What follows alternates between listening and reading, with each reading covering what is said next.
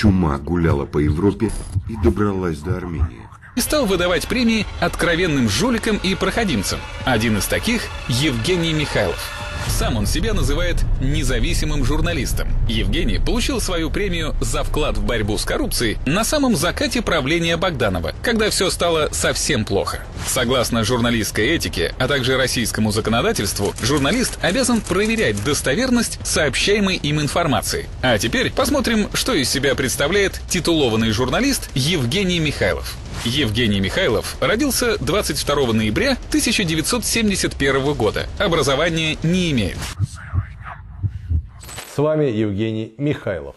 В последние годы вопрос героизации фашизма особенно остро встал на территории постсоветского пространства. И самое неприятное, что своих фашистов и коллаборационистов нам фактически навязывает, казалось бы, братская Армения, чьи лидеры непрестанно твердят, что их фашисты и не фашисты вовсе, а герои Армении, которых должны почитать и в России. Идем сразу после заставки.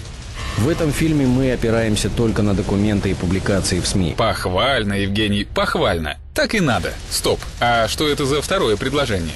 В остальных случаях мы не обвиняем, а предполагаем, выстраивая логические цепочки. В каких остальных случаях? Сначала он утверждает, что опирается только на документы и публикации в СМИ, и тут же опровергает свое же утверждение. То есть уже в самом начале своих видео Михайлов обманывает зрителей. Такое, как ему кажется, обтекаемой формулировкой, он оправдывает информацию, которую излагает дальше. Я работаю только на фактах. В основном. Если я не уверен, я не утверждаю, а предполагаю. В основном? Очень интересно. Я работаю только на фактах. В основном. Я говорю правду. В основном. Я работаю только на фактах. В основном. Я не пью уже 10 лет. В основном. Я работаю только на фактах. В основном. У меня на канале нет заказухи. В основном. Посмотрим, как выглядят факты и логические цепочки по версии Евгения. Вот Михайлов рассказывает о коррумпированном, по его мнению, бывшем чиновнике. По слухам, он как бы является неким посредником по продаже государственного имущества частным лицам. Мы в этом не уверены, у нас нет документов, но весь город об этом говорит, и поэтому мы как бы озвучиваем, что вот здесь собака зарыта. Евгений, что это? Факт или публикация в СМИ? А вот следующая за этим логическая цепочка. Михайлов обвиняет дочь этого чиновника в содействии преступлениям. Его родственники недалеко от него ушли. Яблоко от яблони недалеко падает, как говорится. И, соответственно, вот все, что рассказываем мы о его дочери, может соответствовать действительности. Лауреат премии Союза журналистов России на основании слухов, в которых сам не уверен, публично обвиняет человека в преступлениях, а далее обвиняет дочь этого человека только потому, что она его дочь. Третий комитет Генеральной Ассамблеи ООН на заседании в ноябре нынешнего года принял российский проект резолюции. За документ проголосовало 121 государство, и только два высказались против. Судя по дебатам, негативное мнение в отношении нацизма сегодня имеет большинство стран, входящих в эту организацию. Только две страны, США и Украина, упорно не хотят бороться с этим злом. Если любовь к бандеровщине нынешних властей Украины очевидна, то симпатии главного борца за мир Соединенных Штатов к героям нацизма – это до сих пор для многих тайна за семью печатями.